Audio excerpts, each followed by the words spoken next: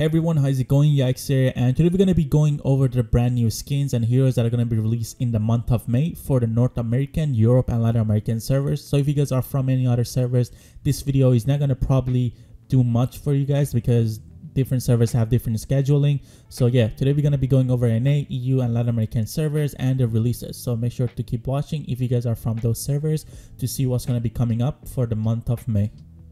Alright, so it seems like that the first skin of the month is going to be another Violet skin, the Violet Golden Dragon. This skin already has been in the lucky draw in the past, so I'm not sure why it being in the back. It was supposed to be a Kulin Senjin skin that was going to be coming to the lucky draw this month, but it seems like that they're doing Violet now. And as you guys can see in this photo, it's going to be Violet tomorrow unless they update the servers again, it's going to be Violet. So the second skin of the month is going to be Roxie Strawberry Roller Girl. So this skin I believe is going to be the 10 day login free skin that's going to be coming up. So the Murad was the one free. Now it's going to be the Roxie one replacing that. And also this Baldum skin as you guys can see was supposed to be coming up on the 2nd of May but it seems like that it was moved up when I checked the game files but I'm not sure if it's going to be coming up or not but if it is coming out it's going to be on the 2nd of May which is going to be going out for vouchers. The next skin which is confirmed to be coming out is going to be the Hayate Phantom Dart skin. This skin is going to be coming out on May 8th and it's going to be going out for about 2000 vouchers. So the next release in the month is going to be the Codex. As you guys can see, the Codex is going to include Ishar, Telannas, and Butterfly skins.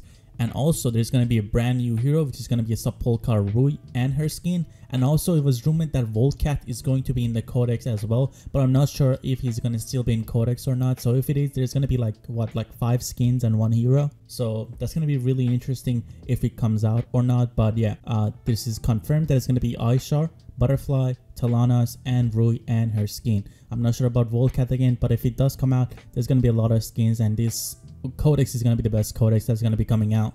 And now for the last two skins of the month, we're going to be having Capheny Cherry Blossom, which is going to be in Liliana's Magical Draw on May 21st.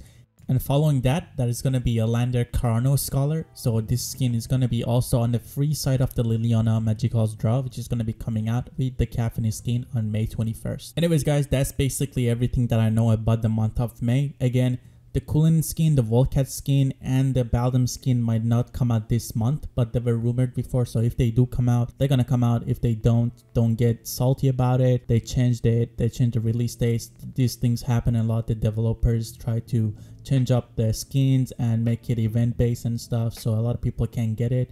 But you guys thank you all for watching. I hope you guys enjoyed this video. If you guys like to see more videos like this make sure to subscribe like comment and share this video. And thank you all for watching and i see you guys the next time. Peace out